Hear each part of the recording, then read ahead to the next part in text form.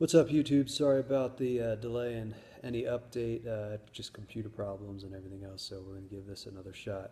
Anyway, I uh, just wanted to bring you up to speed with the conversations that I had with my doctor and where I'm going from uh, where I'm at now. So, uh, if you're curious to know what the scar looks like after five months, I don't know. That's what it is. Um, how do I feel? You know, actually, the past two days I've had quite a bit of uh, tingling back in my arm. I think more than likely I slept on it wrong. I've been trying to be more conscious about sleeping with my arm bent since my nerve's been transposed over the bone, and uh, so now the real resting point for my nerve is when my arm is bent versus when I straighten it, it is pulled and pops over the bone, and that's where all the problems are arising from.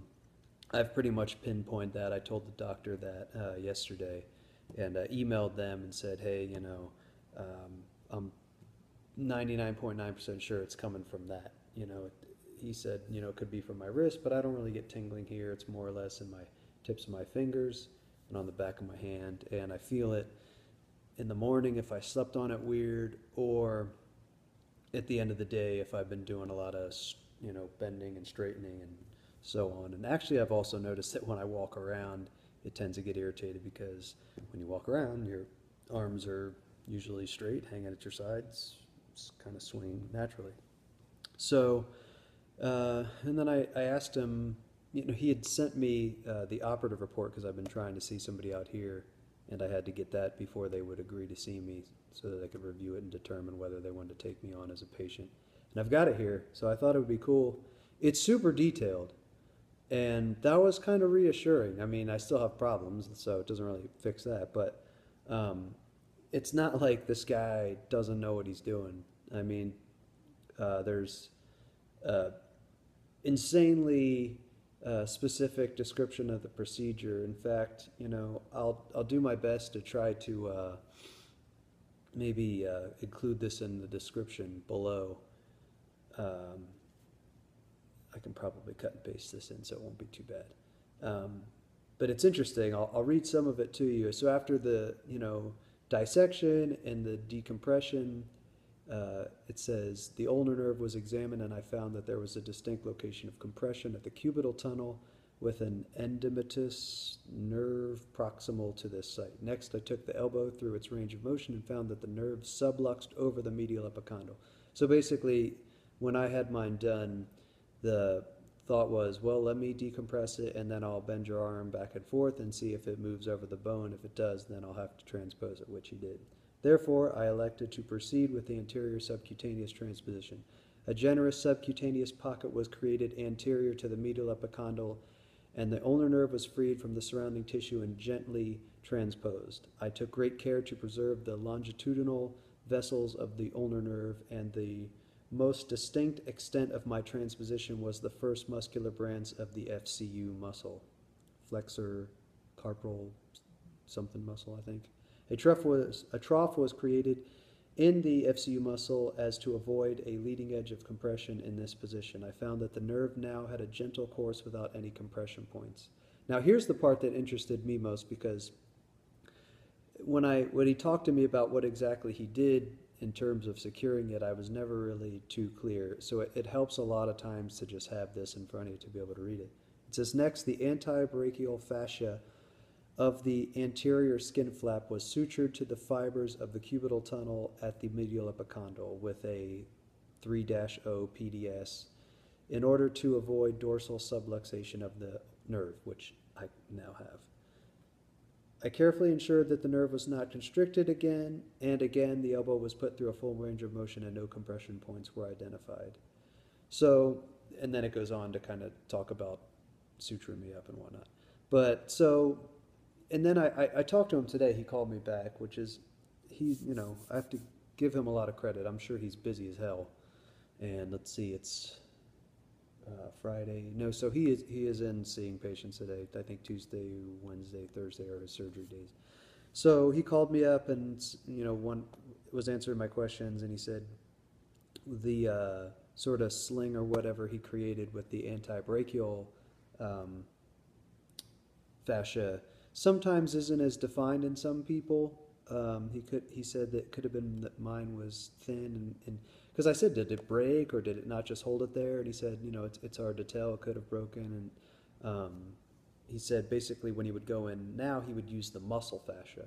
So fascia from I guess that FCU muscle or whatever to uh, hold it in, and I guess that's a little bit more fibrous, a little stronger.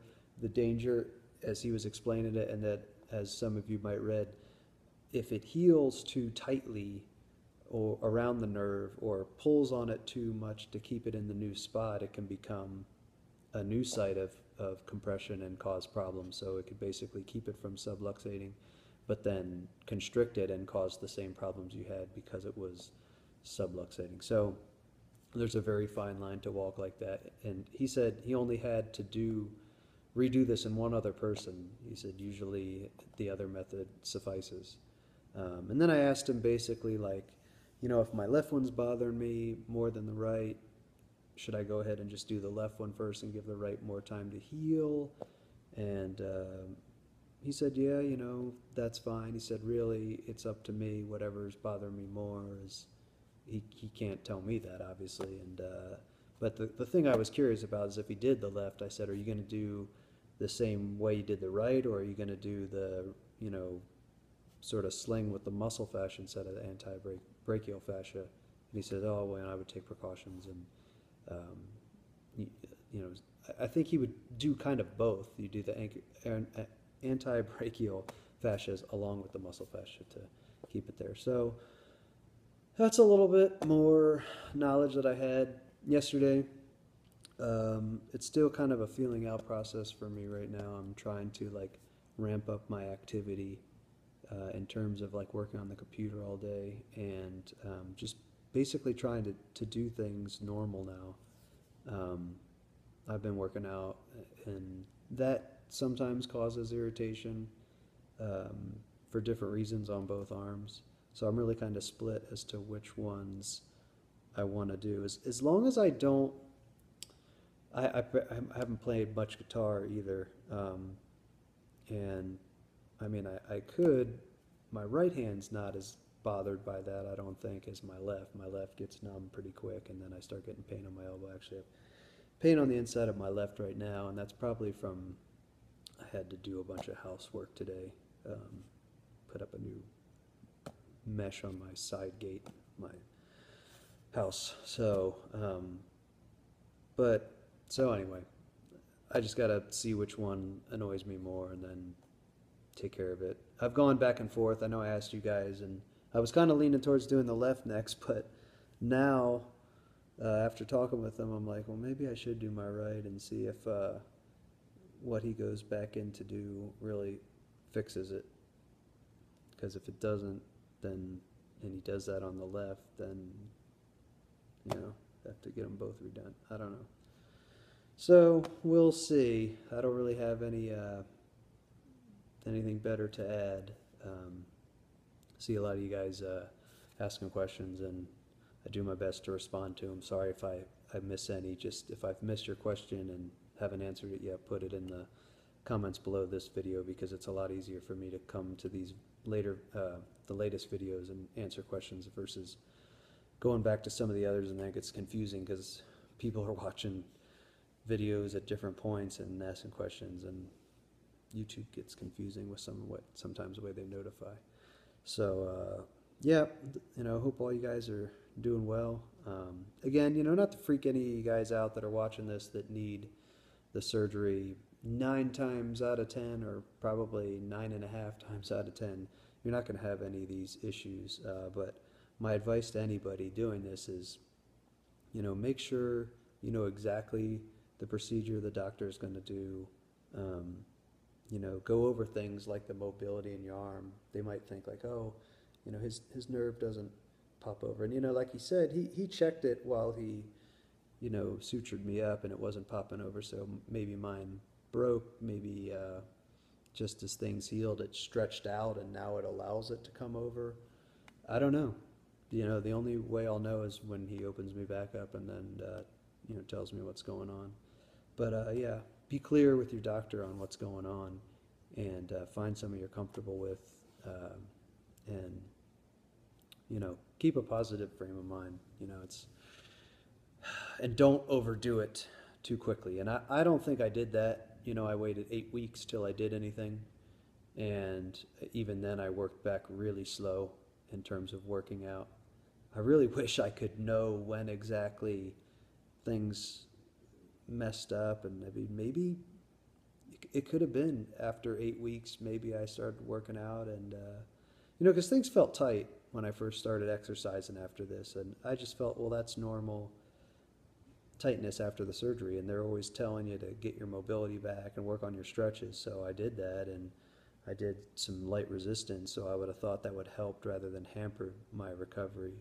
But I, I again, I think it's better when people have physical therapy too. I didn't have any physical therapy. I just had recommendations on exercise to do, and I'm the type of person that if I feel fine you know, I'm going to think what I'm doing is fine, but maybe it's not. So it's it's kind of nice to have somebody there, and if you say, "Hey, my elbow's kind of tight," and you're doing stuff, and they go, "Oh, you know, that that's normal. Don't worry about that." It's just a little bit more reassuring than you feel it, and you're like, "Is this? Should I be, you know, working to loosen this up, or is this part of the healing?" So all those things I don't really know, and I guess it doesn't really matter now. Um, but going forward, after I get my left one done, it would be nice to to know those things. But again, you know, you I, I don't think I overdid anything. I, I took it easy, and uh, it was interesting reading his notes uh, when he met with me.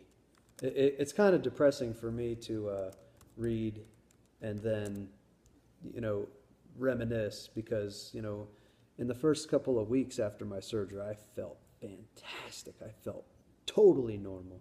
I mean, it was just it was an awesome feeling. You know, I thought, man, I'm I'm gonna be good with this, and I'm gonna put this behind me, get on the next one, and then you know, things happen. But uh, yeah, he was like, uh, said something like, I was a little concerned with. Uh, oh, let's see, actually, it's afterwards. Uh, he's like, uh, you know, you know, given the easy recovery period that the patient has had, I am a little concerned about him doing too much too early and carefully cautioned him on his activity restrictions and limitations. Um, and that was definitely why I, he said, if actually, he, when I went in there, he told me, wait a month and then you can do whatever you want. So I waited two months because I was like, I don't want to mess anything up. And maybe I should have waited three months. I don't know. It's kind of nervous because uh, actually, um, I know this is running long, but my arm's been bothering me quite a bit today. And yesterday was one of the first days I did heavy uh, deadlifts again in the gym, and it felt fine when I was doing it. It never really hurts when I'm when doing things. It's always like the day after or you know later that night. But uh, it's a little numb today, and I'm guessing because when I'm doing deadlifts, my arms are pretty straight. You know, there's no keeping a slight bend in my elbow because that's going to put a lot of pressure on my uh, biceps tendon and my forearms. And uh, so maybe it was that. I don't know because, like I said, I haven't done that in a while, and today in particular, it's been quite irritating. And last night it was kind of bad. So I've got a bunch of yard work to do. And if you guys recall my original uh, video, it was after doing a bunch of yard work that it first started bothering me. So, uh, which ironically, I, I, I, I, you know, it, it could be that I was just doing more and it, it, it, it didn't bother me at first because I was doing so little and I was being so cautious and maybe just the whole time it's been this way. Maybe that sling's still there. And like I said, now I'm doing more, and it's just becoming more irritable because I'm doing more. But when I was uh, working in the yard, I would, you know, me see. I'd hold the leaf blower, and uh, you know, I'd, I'd have my arm straight, and I'd be doing this, you know, to blow over here, blow over there, blow over there. So that motion of having my arm straight and then pronating my wrist uh, in or supinating it out definitely causes my nerve to get irritated while it's straight because it, it almost forces it over the bone where maybe before it will kind of rest on the bone. But either or, it's kind of enough to irritate it, but that in particular irritates it. So that's probably why I felt the uh, pain when I, or pain and numbness when I did. And then I think just I was sleeping on my arms straight. I have a bad habit of laying on my stomach and kind of sleeping just like a log. And uh, I think that was irritating him. So I don't know. I'm gonna have to play it by ear, see how it goes. You know, that's frustrating to not really know what I'm supposed to do next. And really, the only person that can answer that is me. I've pretty much flushed out everything with the doctor now at this point. So I might see that guy out here just to, you know, for a second opinion maybe, but I don't think I will go to him. I'm pretty comfortable with my doctor in UCLA, and frankly, I don't think anything that anyone else would have done differently would have benefited me any more or any less. So it is what it is in that regard. Anyway, I hope everybody's doing well. Um, for those of you, and there's a couple on here that have uh, commented that just had your surgeries, get better soon. And uh, you'll be back at it for no time. Somebody was asking me, like, the doctor told them that, like, they wouldn't be able to play guitar or something afterward. That's insane. I was playing guitar like the next day. You're not going to be playing for hours on end, but I was playing a little bit.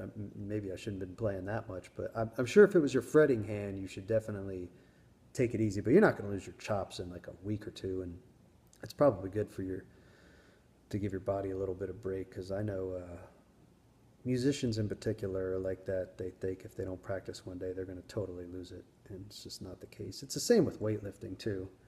You know, the guys that are you know, working out, like, oh, I'm lose my gains, man. I'm gonna have this surgery and lose all my gains. To be honest, I didn't really lose that much. I lost fat, but I didn't lose all that much muscle, and it came back fast as hell. So, and my strength's probably almost to where it was before I had the surgery, if not uh, more, more so. So, uh, it's only been four or five months, so it's really not that bad. If I could get the left one done and be done with it, I'd be pretty stoked. So, anyway, I'll stop rambling. If you guys have questions, let me know. And I uh, really appreciate the support and feedback you guys all give me. All right. Aloha.